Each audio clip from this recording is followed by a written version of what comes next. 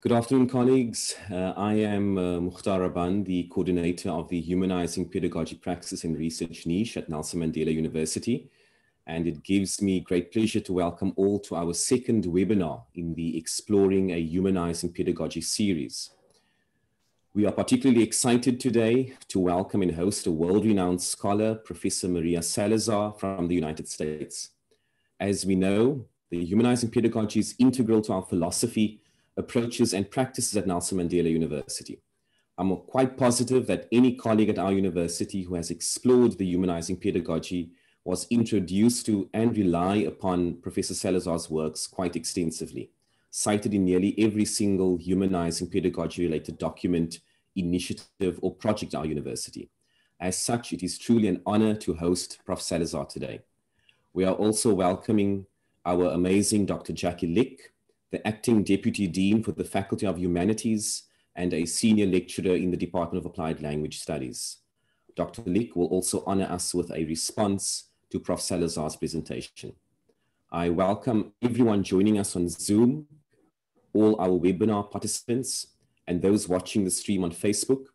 On behalf of the HPPRN and the Learning and Teaching CoLab, a hearty welcome. The Deputy Vice Chancellor for Learning and Teaching at Nelson Mandela University, Professor Cheryl Foxcroft, would have loved to attend in real time, but a pressing matter arose and she has sent us a recorded welcome, which I will play shortly.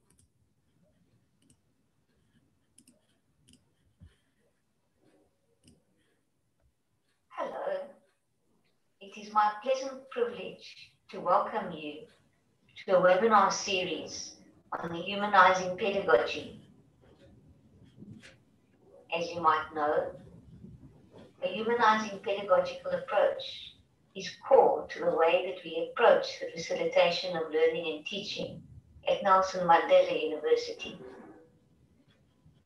We are particularly privileged this afternoon to have Professor Salazar with us, a renowned expert in the field. Professor Salazar when I first got introduced to humanizing pedagogy, yours was the first article that I read. So we really are privileged to have you join us for this particular webinar to make a presentation. We look forward to what you are going to share. To all the colleagues who are joining, I hope that you feel very welcome Thank you, Prof. Foxcroft. Before I formally introduce our speaker, just a few house rules. Uh, the mics have been muted for the duration of the presentation and response. Please feel free to post questions and comments in the chat while the presenter and respondent are speaking. There will be a Q&A session towards the end of the webinar and all questions will be posed then. At that stage, you may also raise your hand or request the mic in the chat and I'll send you a request to unmute. You may also send your questions directly to me by selecting my name from the drop-down. We are looking forward to an engaging session this afternoon, while it's this morning in the States. Uh, colleagues, it is with immense honor and pleasure that I welcome Professor Maria Salazar. Dr. Maria Salazar is a professor of teaching and learning sciences in the Morgridge College of Education at the University of Denver United States. Professor Salazar has authored 35 publications and delivered 125 scholarly national and international presentations on a humanizing pedagogy, equitable teaching and teacher evaluation, and college access and success. She's the author of Teacher Evaluation as Culture, a framework for equitable and excellent teaching. She is also the lead author on a briefing to the United States Congress related to the state of the Latinx community in the States.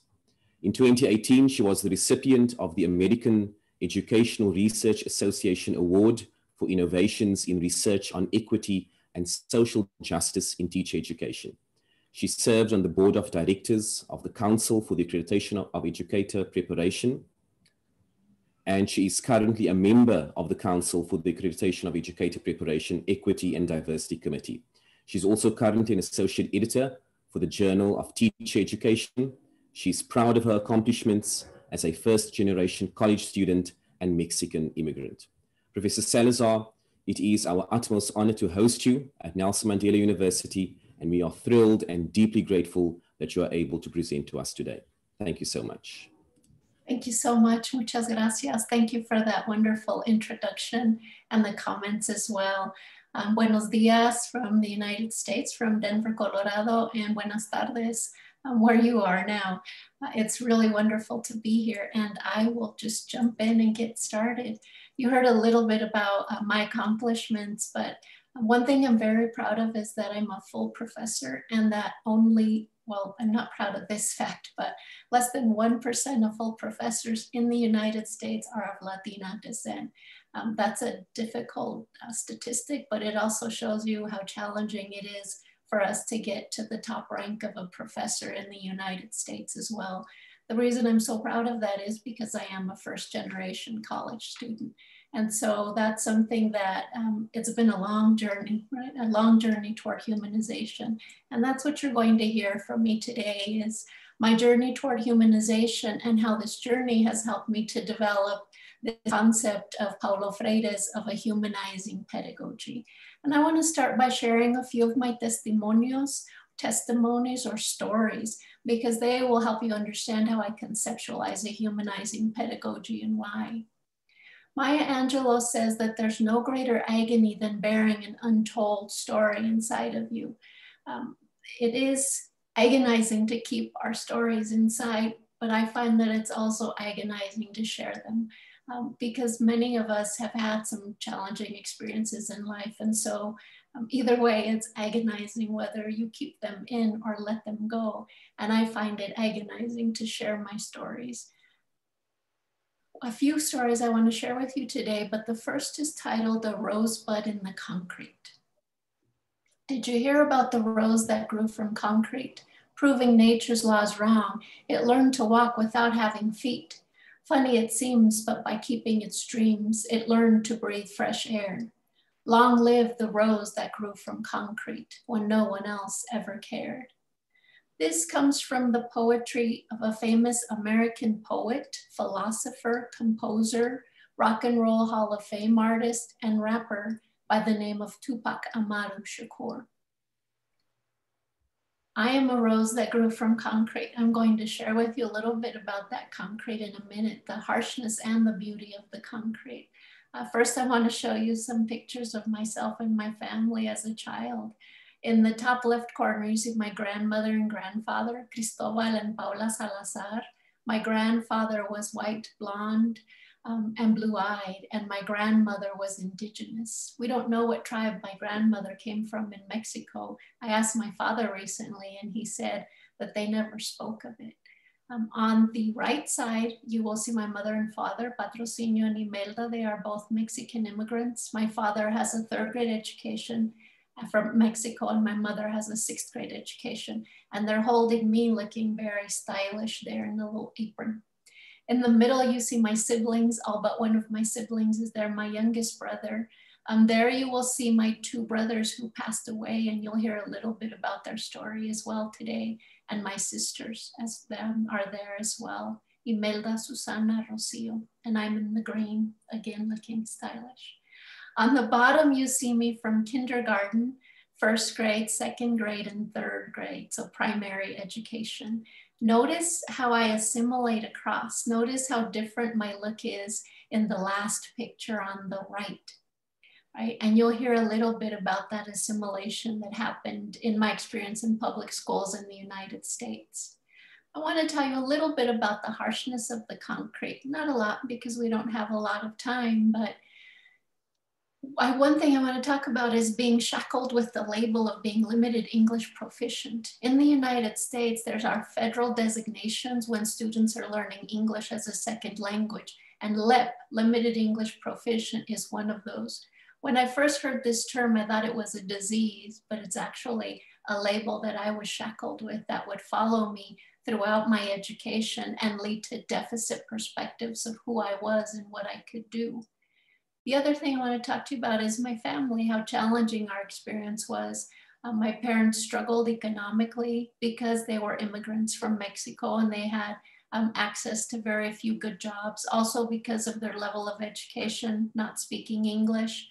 Um, people often thought, teachers often taught my parent, thought my parents weren't involved because they never went to school. They weren't part of the process of schooling as other parents are. But the most impactful thing that happened in my family was a very traumatic event. When I was six years old and my little brother was five years old, we were in Mexico. We were visiting for the summer and we were playing hide and go seek. And we couldn't find my little brother, Ricardo. And we looked for him for, I felt like we looked for him for hours, but it must not have been hours. Um, until my father brought his lifeless body out of the water well. It appeared that my little brother had went to hide in the water well. Um, what I did not know actually until recently was that he was still living when my father took his body out of the well. But I remember them placing my little brother's body in my mother's arms and I remember the wails of my mother, like La Llorona, a Mexican legend of the crying woman, and her cries were inhumane. And I remember them putting me in the car with him, his lifeless body, and taking him to the doctor, but he had already passed away. I remember playing around his casket and thinking that he would wake up soon and not understanding what was happening, and my parents telling us that he's, he was sleeping. And then I remember my mother, when we got home to Denver, calling the school and saying, Ricardo won't be going to school because he died. And I still didn't understand the concept of death, probably until I was about 10 years old. And then I blamed myself, like everyone in our family. So, because of this trauma, then my parents didn't know how to deal with this trauma. And there was domestic violence in my home between my mother and my father, and my father and my oldest brother.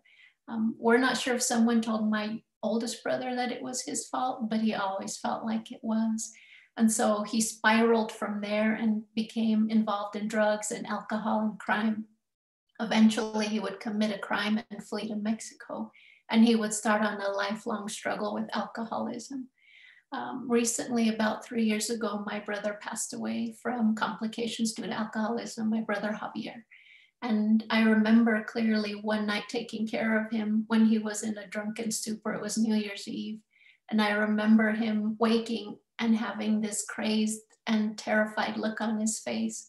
And he was saying, Where's my brother? Where's my brother? I can't find my brother. And so, as we buried my older brother Javier next to my youngest brother Ricardo, I remember the tears streaming down my face and sobbing and thinking, he found my brother. He found my brother. So that trauma would impact me. That was part of the harshness of the concrete that I grew up in. The other part of the harshness was our schooling and our community. I grew up in a community in Denver that was very poor and impoverished with high crime rates, a lack of resources, um, I also went to schools that were dropout factories. They intentionally pushed us out. They were designed to push us out. And our dropout rate at the high school level was phenomenal. I would say about 80% dropout rate. So we had little support, we were segregated, and our teachers suffered from the pobrecito syndrome. Pobrecito means poor little one in Spanish and they lowered the bar so that we could just step over it. Those poor little ones, they'll be lucky to graduate from high school. There was no thought of us ever going to college. And so they saw us as at risk. The Colorado Department of Education has a number of uh, indicators for being at risk. I met two of these indicators where my brother met all but two. And so many of our teachers viewed us as at risk, those poor little ones. But what they didn't see was the beauty of the concrete. They didn't see our amazing resources and gifts, being bicultural and bilingual. They didn't see how amazing my family was, how much they, despite all our challenges, how much they sacrificed their language, their culture, their family to bring their children to the United States for a different opportunity. The great extended family I had, even fictive kin. We had people we called family who were of no blood relation and our family persevered and we were resilient. It was a source of our strength, right? This concrete became a source of our strength. I had a few teachers who believed in me and that helped me move, but it was my community that was resourceful, innovative, hopeful, and resilient that helped me continue to move forward. And so many of our teachers did not see us con promesa with promise. They only saw what we were lacking a can't do approach versus a can do approach. All of these wonderful, amazing affirmations and gifts that we had, like being language brokers and cultural brokers, agents of change, survivors. They did not see all the positives of the concrete. This is illustrated in a poem that I published in the Bilingual Research Journal. Typically, the Bilingual Research Journal is a it's a high impact journal with um, only academic resources. There are publications. However, my advisor at the time, Maria Fránquiz, Dr. Maria Fránquiz, was the editor of the journal, and she encouraged me to go beyond the boundaries of academic writing. And this was the first poem that I published. So the master narrative, no books, no resources, no support, no language, no work. Again, this poem really lays out how we can't do, don't have, are limited, disadvantaged, illiterate. But our counter narrative is that we are boundary spanners, bilingual, bicultural, biliterate. Our, our source of literacy in our home were from our culture. And that is something that our teachers could not see, that source of literacy. Instead, we were fenced in the margins, our literary genius hidden, invisible, silenced, and erased. And so this is that contrast of an asset orientation versus a deficit orientation and how educators approached us often from the deficit perspective. They saw the concrete, they saw the harshness of the concrete, but they did not see the beauty. Today, I know that the concrete is a source of strength for me. It resides inside of me. I don't want to leave the concrete behind. It's who I am. And this aligns with the work again of our famous American poet, philosopher, composer, and rapper, Tupac Amaru Shakur. You see, you wouldn't ask why the rose that grew from concrete had damaged petals. On the contrary, we would all celebrate its tenacity. We would all love its will to reach the sun. Well, we are the roses. This is the concrete, and these are my damaged petals. And so I often entreat educators to celebrate our will to reach the sun because the concrete is that source of resiliency for us. Through this struggle in my early years, I found myself. And this is something I call I power individual and community strengths and challenges that are essential part of one's humanity. There you see a painting by Frida Kahlo, a famous Mexican artist you see her with one foot on either side of the US Mexico border. And you see the beauty and the harshness of the concrete. And that is how I found myself um, as a person with multiple identities and intersectional identities that is surrounded by the beauty of the harshness of the concrete of the US and Mexico. But yet I always belong, felt like neither side wanted me and I was a citizen from nowhere. And so I had to find that internal drive and find myself in that process. The next story I want to share with you is my first grade teacher stole my humanity. When I told my teenage daughter this title, she said, Wow, mom, you're so dramatic. And I said, Yes, that's what I was going for. There you see a picture of me in kindergarten on the left and then in first grade on the right. When I entered kindergarten, Mr. Lopez told me I was so smart I could learn in two languages. It was a bilingual classroom. And I walked in proudly with my mochila, with my backpack, and it had all my treasures my language, my culture, my family, my history, my heritage.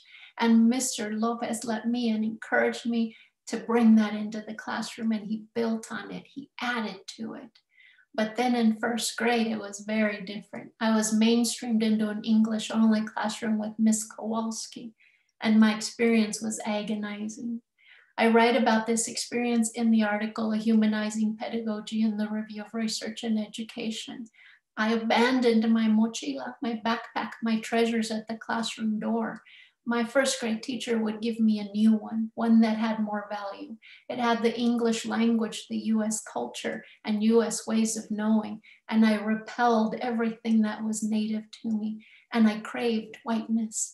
Um, in the third grade, I wanted to be white, and I, I believed that if I got into the top reading group, I would become white. And when I got into the top reading group and my skin didn't change, I was overwhelmed that I would have to live in my dark skin forever. La Morena, that word means dark skinned, the dark skinned girl. And so this followed me throughout my K 12 education, all the way through high school. I'm wanting to leave who I was behind, resisting speaking Spanish, where my father would not speak to me unless I spoke Spanish to him, and just wanting to be a different person, like Wanting to be someone who had value and someone who was white. It was through this experience in my uh, K 12 education as well that I found the culture of power, as Lisa Delpit calls it dispositions, knowledge, and skills that I needed to successfully navigate the US culture and systems. And every nation has this as well, their own culture of power. And often these are aligned with Western ways and white ways of knowing and seeing the world. This is a, an artwork by Frida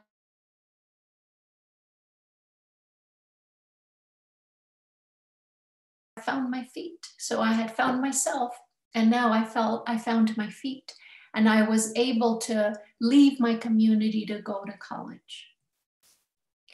But then I had to reclaim my treasures. I wanted my treasures back. I wanted my mochila back, my backpack. This is uh, artwork by Diego Rivera, also a Mexican artist.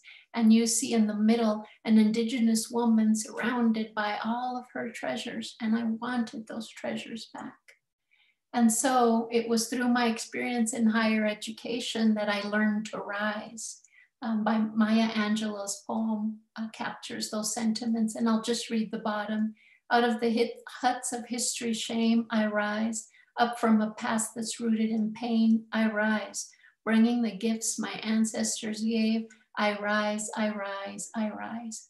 But this rise was not because of my university professors. I waited for them to give me back my treasures. I thought they would be different than my teachers in my K 12 education, but they didn't. They upheld the Western canon and they used it like a weapon of mass destruction to keep America great or keep America white. And so again, I was denied my humanity. Again, my professor stole my humanity.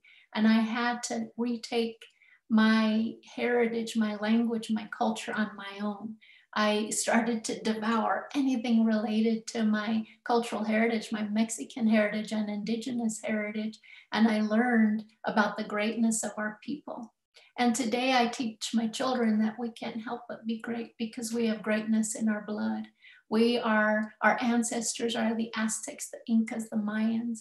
We are healers, engineers, we are philosophers, we are astronomers, and we are so much more, and we can't help but be great. And so here, um, books saved my sanity. Knowledge opened the locked places in me and taught me first how to survive and how to soar. And those books were related to my own culture.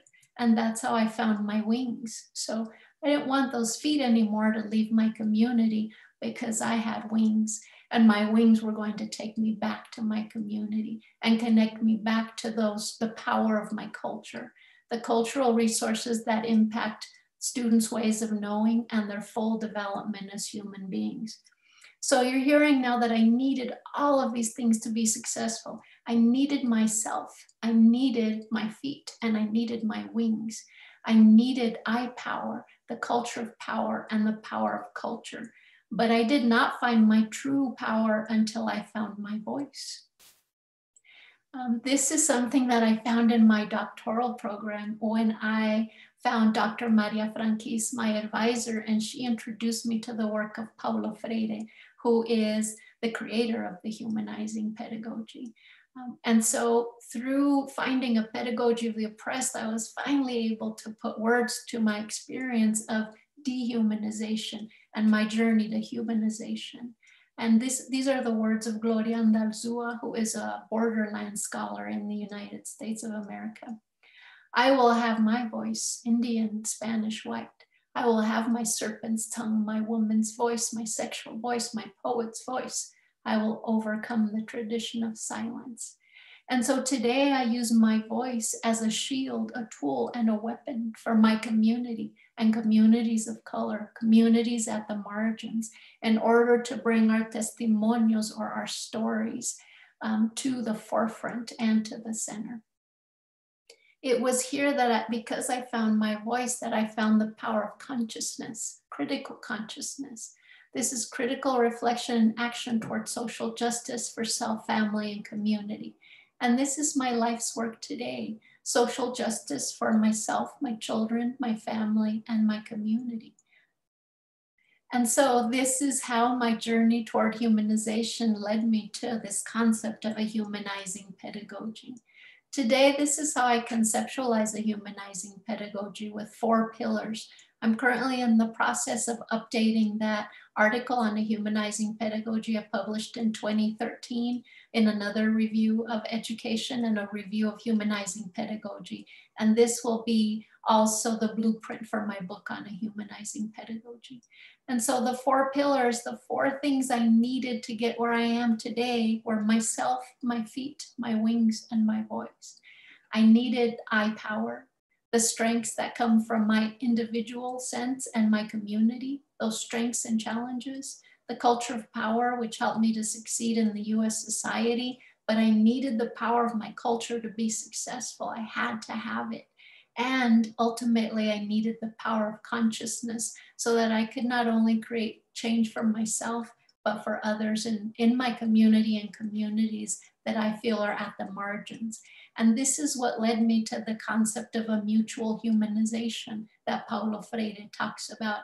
As I humanize myself and attempt to humanize my children and my family, then I also attempt to humanize with alongside communities at the margins, that concept of a mutual humanization.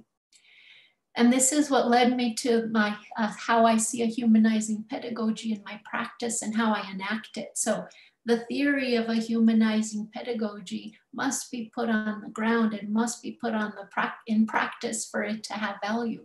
Again, Paulo Freire talked about reflection and action as praxis. And today I have, uh, tengo tres ejemplos. I have three examples of this in my own practice. One example is my latest project, the One Tribe Family Freedom School here in Denver. And we are looking to take it national as well and maybe even international. So freedom schools arose in the 1960s in the United States when uh, Black children were being forced from their schools and eventually deseg into desegregated schools. And so these schools allowed them to have an opportunity to engage academically, but also to engage in racial and social justice and activism.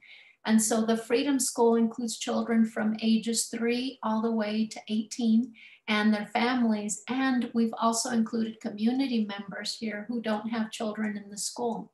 This is a supplementary education. It happens two Saturdays a month. And right now it's virtual because of uh, COVID as well. So this is something that we're so proud of. And this is the team that I work with on the right side.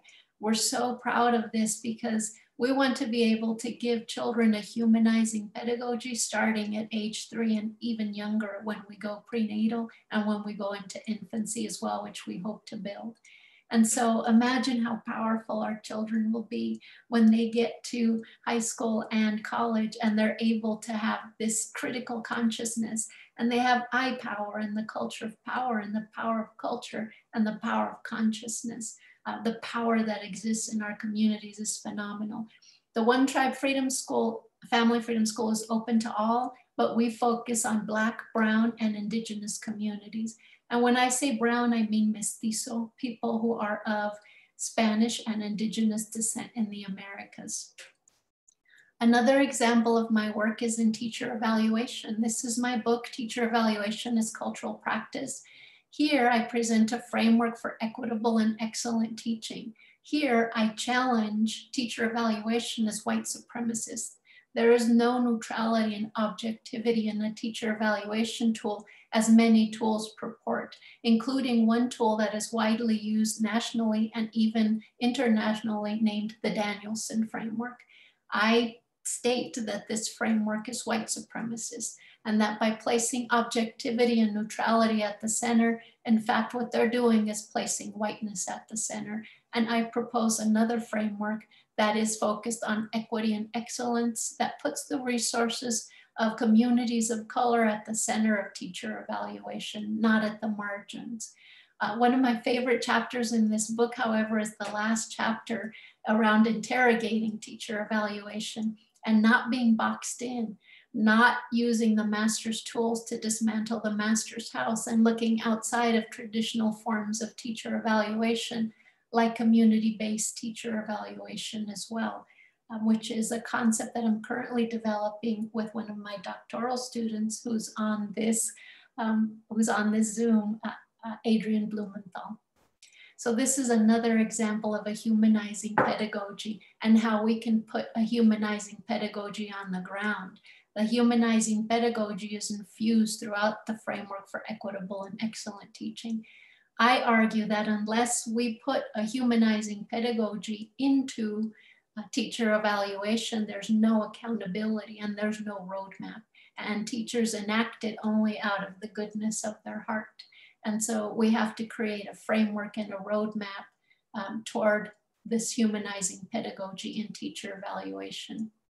The last thing I want to share with you is just an example of how I embed a humanizing pedagogy into the higher education classroom.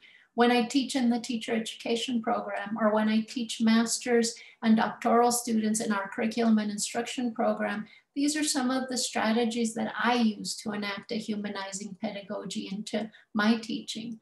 First, I connect with students. I do this in a myriad of ways, but now that we're on Zoom and we're online in our teaching, it's actually been I've had to work a little bit harder to connect with students, but I do things like a show and share at the beginning of class where students introduce us to family members, pets, uh, share a um, share a hobby with us, and this is a way that we connect with each other and I build on their lives that I'm seeing in the Zoom, or I introduce them to my children. And so I share also with them my own home and my own family as well. I've also shared my humanity with them. I always share my stories and experiences with them. And this then encourages them to share their stories and experiences with me. And we engage in this sense of mutual humanization. I give them choice always in assessments, and that is a humanizing assessment practice. Um, because choice allows them to work from what they value and their ways of knowing. The other thing I do with my assessment practices is I use multiple means of assessment. And when I give feedback, I always use their first name, always, always, always to connect. I always start with the positive and then I start with the room for growth. And that is strategic and humanizing as well. I integrate content that reflects who they are, uh, social media, multimedia, readings. I set high standards. There's no pobrecito or poor little one um, syndrome in my classroom, right? There's no pobrecito approach. I have very high standards and I provide support for my students as well. And I apologize. I'm having some technical issues on my end. Um, so just one other thing as I continue here. Uh, that was actually very much the end, but as I continue to get this presentation back, I believe I can share my screen again. Sorry. There it is. So just the one last thing, engage with the community, how important it is to engage communities, bringing community members in, but also taking higher education students out of the classroom. For example, I've taken my students to a local high school to engage with a powerful teacher named William Anderson, who is actually teaching his high school students a pedagogy of the oppressed. And my graduate students were able to interact with his high school students around the pedagogy of the oppressed and their learning. And they watched him do a culture circle with his students as well. So again, engaging community is important. As I end my comments, I never leave with a closing, but always with an opening. Um, the opening here is your own journey toward humanization. And so things to consider through your own journey through humanization, I would say is move beyond the boundaries. Um, be willing to reimagine and reinvent And as Audre Lorde states, the master's tools will never dismantle the master's house. We've got to move outside of those boundaries to reimagine. And we are well placed to do that as people who are bilingual, bicultural, multilingual, multicultural. The last is um, to emphasize the notions of Freire around education as a practice of freedom. I want to leave you with these three images, the rose in the concrete, the beauty and the harshness of the concrete, con promesa with promise. And I want to leave you with a Mexican proverb, quisieron enterrarnos, pero no sabían que éramos semillas. Translated, they wanted to bury us, but they do not know that we are seeds. Our communities are seeds, black, brown, indigenous, and they cannot bury us. And we have all the potential in the world to continue this journey to humanization um, collectively toward our journey toward mutual humanization. And so as we move forward to the respondent and to questions, I also want to pose a question to you. Uh, what is your journey toward humanization? And how do you perceive a humanizing pedagogy? Thank you, I'm very grateful. Thank you, Professor Salazar, for such a powerful presentation. Um, I'm, I'm going to leave the comments to our uh, respondent, Dr. Jackie Lück. Uh, Dr. Lück, you may proceed. Thank you. Um, thank you, everyone. Good afternoon. Prof. Salazar, I just feel like I need to first sit with what you have done and not just launch into, uh, you know, um, my respondent uh, section. Uh, I just feel like, can I just sit for a minute and just absorb that beautiful, um, uh, profound, moving journey that you have just shared with us. Um, and so I will do that and try and share my screen at the same time, um, if that's okay.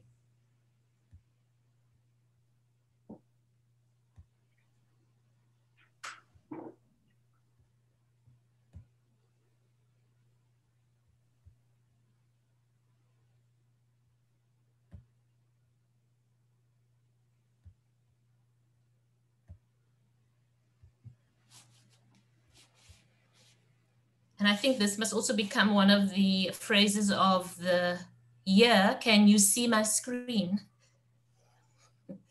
Yes, so so thank you. Um, uh, Prof. Salazar, it really is a singular honor for us to have listened to you today. You are playing, as Mukhtar says, a leading role in advancing a humanizing turn in, in your scholarship.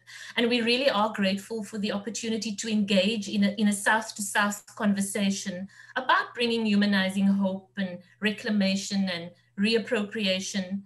And we know that our colonial histories have played out very differently and that there are complexities about what constitutes North and, and South, and whether it is just a geopolitical or geographical perspective. But we have in common the oppression that Indigenous peoples have shared um, without laying claim at the same time that there's a universalization of our experiences. So as I said, my name is Jackie Lück, and, and my discipline is linguistics and language. And, and I would like to situate my, my 10 minute response uh, within the broader Nelson Mandela educational context and, and what is, has been our journey towards humanize, uh, a humanizing pedagogy. Um, Prof, so I will be sharing multiple stories um, in, in the 10 minutes I will try. Um, and so I'd like to use the time to consider your call for a humanizing pedagogy um, in education and, and what it is that we need to be responsive to in our context and how we are taking up the school, as I've said. So um, my own journey um, it has been very different to the, the journey of what our students are facing at the moment. Um, we have different, as I said, yeah, we have different journeys. And my one was rooted in a time growing up under apartheid as a person, you know, of mixed race, our humanities were being taken away from us by a larger system, but we had the activist teacher that you are. We had those teachers that helped us with the transformational resistance that, that, that you speak to. So uh, Prof. Zinn is one of them. Uh, she, I'm not sure if she's uh, here with us today. So um, I'd like to start also with this um, quote from Kim Scott, who is an Indigenous um, uh, Australian. Uh, his novel, That Deadman Dance, he, he says, We learned your words and songs and stories and never knew that you didn't want to hear ours. Mm-hmm. And to me, that speaks a lot to what you have been saying um, today. So if, if I reference what's happening in, uh, uh in South Africa, we know that um, our stories of our students, if they have to tell their stories, they encounter a race, a class, a gendered um, education. They encounter either a resource rich or resource poor world. And, and what this, these worlds have in common is this dehumanizing, uh, Eurocentric perspective that is reproduced and sustained. And the only way we can take up this challenge is to speak to what you have been, your work is to take it beyond the classroom walls, beyond the school gates, beyond the administrative, the curriculum pages, to the local production of knowledge like you are doing that reflects a community and a society's knowledge, needs, and aspirations. So um, what you have you what you shared with us was really, as I said, very moving, and and our students are telling similar stories. And I'd like to focus a little bit on the indigenous uh, languages and the that has been ripped from the bodies of our students. Um, so I'll just move my slide and. Um, so, so the slide that I have up at the moment is comes from a module on language acquisition that we teach at uh, our university. It was curriculated within a Northern canon. And now we are trying to enhance African knowledge through the self-reflective dialogical spaces for our students and and we we we're getting our students to reflect on their and the community's members literacy histories and practices. And this is what students have said when we present them with the northern canons. The one student said i do not know how to answer when somebody asks what is my mother tongue do i need to have one mother tongue? I do not understand. Do i have many interlanguages? If I speak more than one language, how do I acquire them if I have these separate systems? I have difficulties making sense of this reading. My mother said our house is now an English free zone. She realizes we are losing touch with our language. I am relearning my language. These are students who are now in their possibly fourth, fifth year of study. So they are the voices of students who have spent years being straitjacketed and white streamed to fit a system that silenced their language knowledges. They were forced to learn a standard form of indigenous languages that was invented and codified by colonists and in this classroom, as I said, they're learning the Northern canon of language acquisition. And so they're journaling about these grapplings that are they finding so diffuse and alienating uh, that, that can be said to be stealing their humanities. But, but there is this fight for reclamation. They are troubling the illogical reasoning um, that characterizes our context. And I think so. They are gaining your what you talk about the I power, the culture of power, the, power, the, the power of culture, and the power of consciousness through this co-constructive pedagogy that we are engaged with. Um, more spaces for me that that still need a humanizing lens um, are, are, are spaces that like our online spaces where in which where intersectionalities are not visible. So at the moment, um, the online space presents us with new ways of misrecognition. Prof. Fatah spoke about that earlier in this week uh, on this webinar. The online space has become an English hegemonic space. You know, it's focused on the technicis, the banking, retelling of knowledge. The main concerns are plagiarism and not induction into how student voices can emerge. And, and to me, that space needs to be uh, is a dehumanizing space at the moment for our students. And and then just moving on to the many dehumanizing narratives in south african education and the new ones that are circulating. We hear of suspended nutrition plans for school learners during a pandemic. Mm-hmm. uh, a top-up grant support grant is being stopped. The dire conditions under which the majority of our students learn. Um, as I said, the standard forms of indigenous languages that was invented by missionaries and imposed on our students, and the token attempts to incorporate indigenous languages in assessments now at schools without students being given access to these languages in their classrooms. So these include uh, theories of Bix and Kalp that come to us from the North, where the approach is very test focused, not to focus on the sociocultural, a communicative teaching approach conceptualized within language acquisition, theories of stable fixed languages, these all misrecognize our multilingual realities. And we try to do research at schools to address the challenges that our learners have with, or students have with, with language. But we need to critique, are we continuing to do this within predominant language paradigms? Um, how can we enact a humanizing pedagogy from early childhood development right up to higher education? And you've given us a whole lot of tools to do that. How do we um, get the reflective spaces for teachers and students to identify these gendered class race practices so that we can re-signify uh, um, these naturalized practices and assumptions and become these humanizing self-critical agents. So I just want to end with uh, talking about what it is that we are doing at the Nelson Mandela in a little bit more detail. Um, on the screen there, I, I, um, I have um, the first point that I've already spoken to about these self-critical dialogical spaces we're creating in our classrooms. And I know um, Dr. Childs spoke about this earlier. This is happening in the Faculty of Education a lot. Um, we are in our faculty, for example, dialoguing with local First Peoples to research, excavate, and teach with them varieties of a language, uh, that was spoken um, in the Eastern Cape. Um, we are also have a language policy project that's led by Prof. Mzanga, where we are engaging in a co-construction of a new, a living language policy um, that's crafted from conversations about lived, uh, sorry, lived experiences, because the politics of recognition have excluded indigenous languages. And as uh, I'm not sure if you know, Prof. Salazar, we have humanizing pedagogy as a philosophy at the university. Um, you know, it underpins, it's the center of everything that we do. So, but that does not say that they are, that, that they are not any dehumanizing practices that we need to attend to and that we need to co-craft uh, towards a more humanizing pedagogy with students, teachers, administrators, parents, and civil society, uh, so that, um, and, and, and to continue to ask the questions that what, who are our students, how do they navigate our, our, our spaces, how uh, um, are we engaging their voices, and what are they encountering, and, and we know there's no universal recipe, but we take, um, we, we take from what you have saying, and I think that is something that we can take on board, even though, you know, um, as I said, there's no universal recipe and, and humanizing pedagogy is, is, a, is a social practice um, and it's an ideological practice.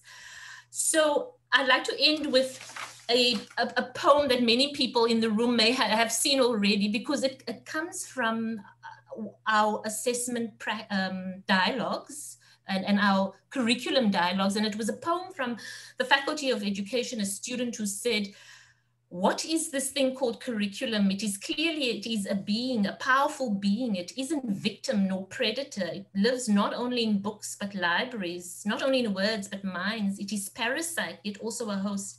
And she was referencing here the very Eurocentric curriculum we have. And um, I, have just taken the last line now and I'm going to end. She says, I'm so close to you. I have bleached your skin. I have twisted your tongue. I have become you. If you must question me, you need to be the answer. If you want me dead, you need to die. You need to shed. You need to sit in the sun and soak back the color I have drained from you. Are you prepared for that? And this was a student who, as I say, she was part of a process where we were engaging on, on, on, on, on making a more humanizing uh, curriculum frameworks.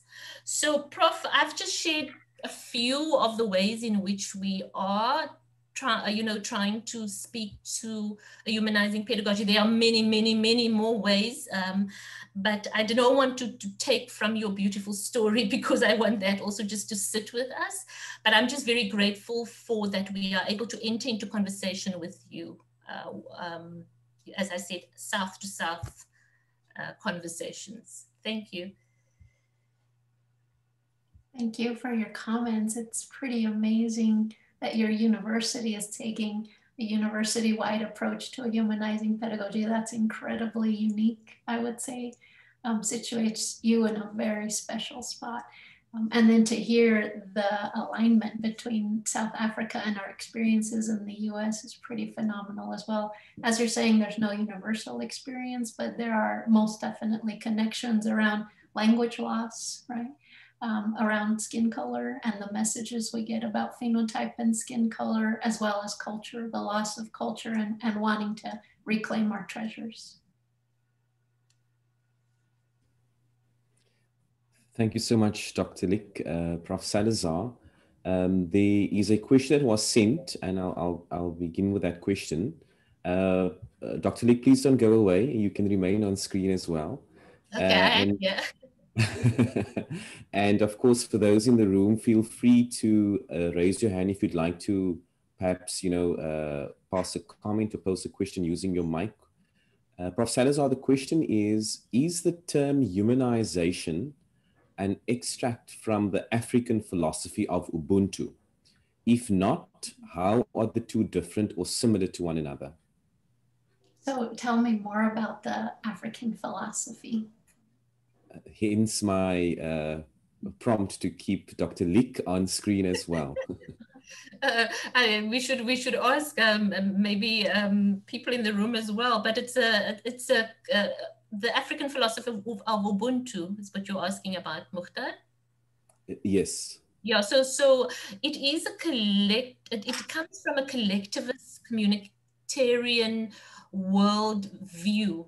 Um, you know that that that the community is something is foregrounded and not the individualistic um, aspirations and needs and so that um, i am a person because of other persons you know mm. so so it, it, it takes a, that uh, what they call it cosmovision um, outlook. Yes, sorry, I'm not, Mukhtar, I'm probably not doing a proper justice. I must ask, uh, put Nokanyo on the spot and ask her to also explain. She is, Prof. Mzanga is in the room as well. Uh, uh, for the participants, I've, yeah. I've enabled.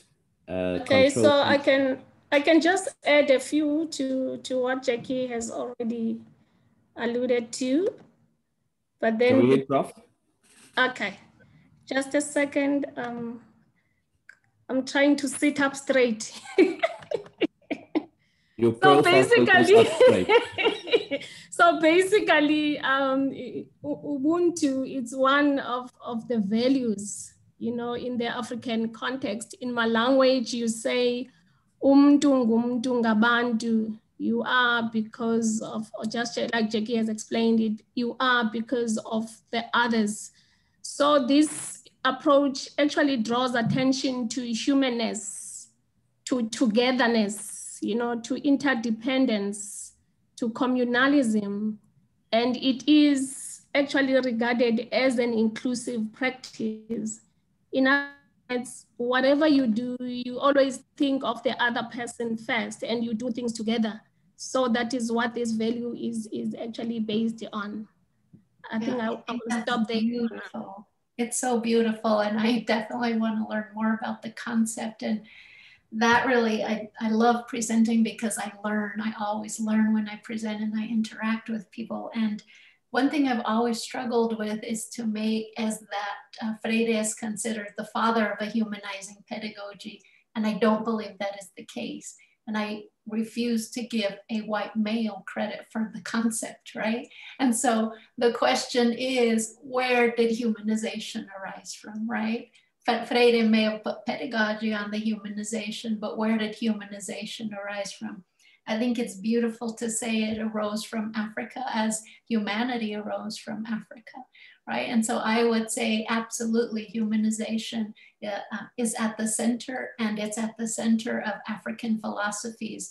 And that contrast of the statement, I think, therefore I am, versus we are, therefore I am, right? And so I think that is the nexus of that humanization. And, and actually, I'm going to include that in my writing now that the humanization, the nexus comes from Africa and the center comes from Africa and, and humanization comes from that as humanity comes from Africa as well. So I think it's beautiful. And I would say yes to the question, yes. And how important it is to, to go back and look at humanization and the roots of humanization and not to give Europe credit for that, by the way, because um, again, the winner gets to take credit for everything, right? And so, and the, the winner gets to write our history and our philosophies and our theories. And so, um, in this case, we are all winners. And I believe that it's important to center humanization in Indigenous communities um, and communities who have typically been marginalized. So I thank you for teaching me. Uh, what a phenomenal thing to learn. Thank you so much, Prof. Uh, I'm inviting Prof. Uh, Pillay to um, unmute and, and speak. I see the hand is raised. Thank you, Mukhtar. Um, thank you, Prof, for a, for a very interesting and engaging um, presentation. I really enjoyed it.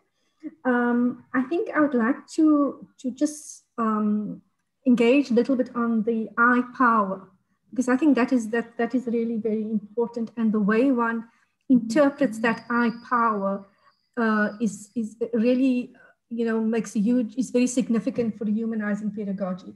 So I would like to know what your th thoughts are on a liberal framework that focuses on the I and the poor little child instead of a more social ontology with a focus on critical consciousness.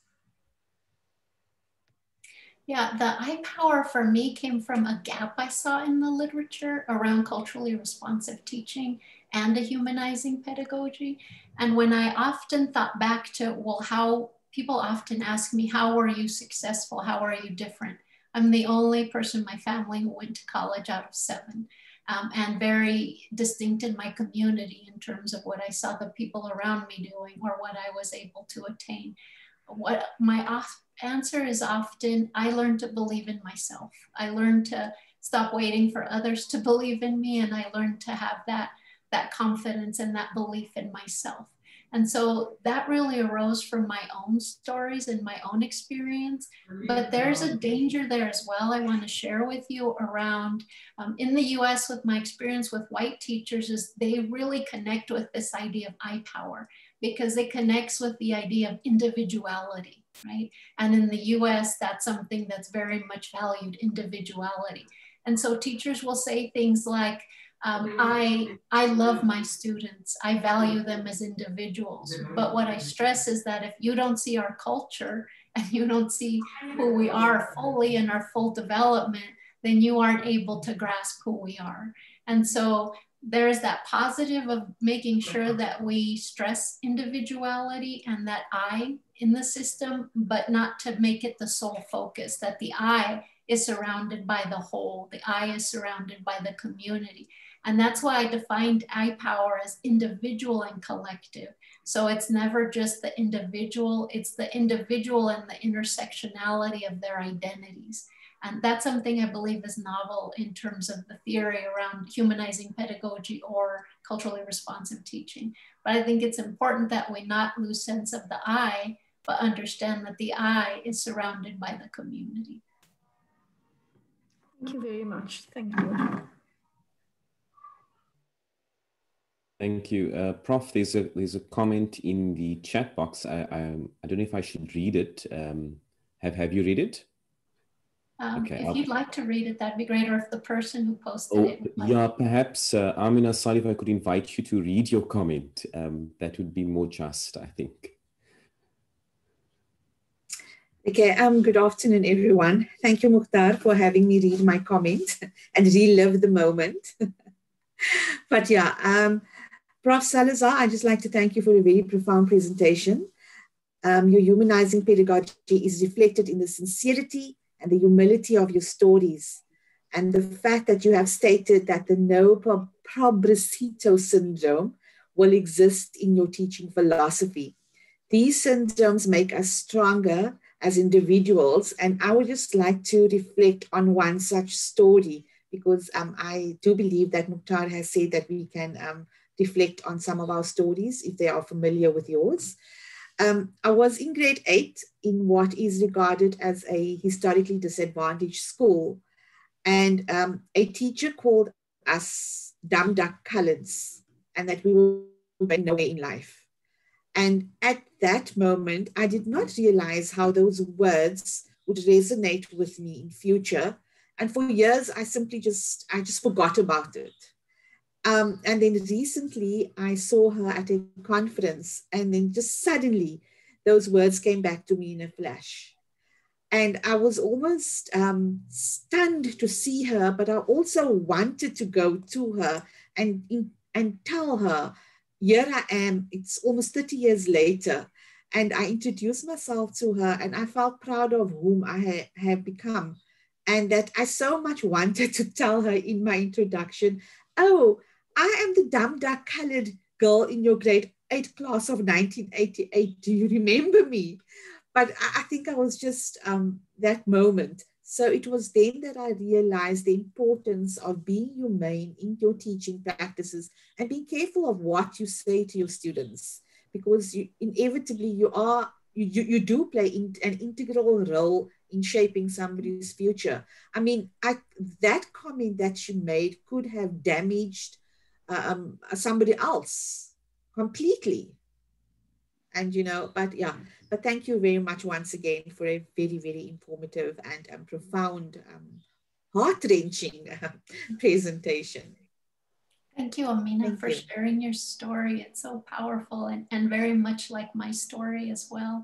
Um, I hope you get a chance to read the blog.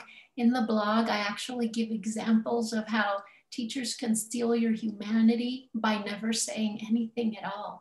They can do it through their curriculum, instruction, assessment, and learning community. And so, yeah, the words are powerful, but the deeds and the actions are also very powerful. And, and educators send us a clear message about our humanity through their practice as well. But thank you again for sharing your story, and I greatly appreciate it. Thank you so much, uh, Amina, and thank you, Prof, for the response. Um, colleagues, we are reaching the end of the session. I could possibly allow one more question or one more comment. If anyone would like to, you are welcome to unmute yourself. Going once.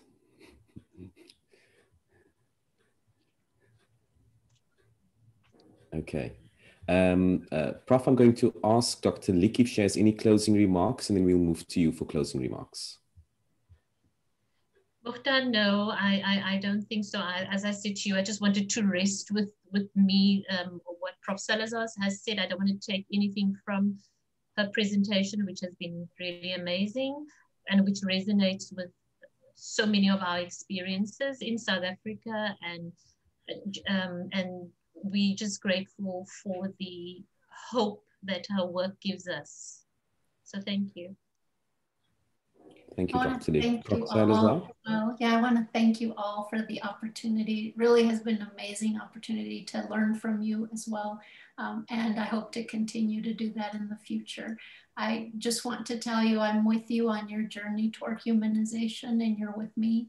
And there's so much to accomplish and so much to do, right? But um, together, I feel that we can most definitely accomplish this and, and bring humanization to a university and to a nation and to our globe. So thank you so much for all of your work and your efforts, um, to all of the professors as well, but for all of you on the call.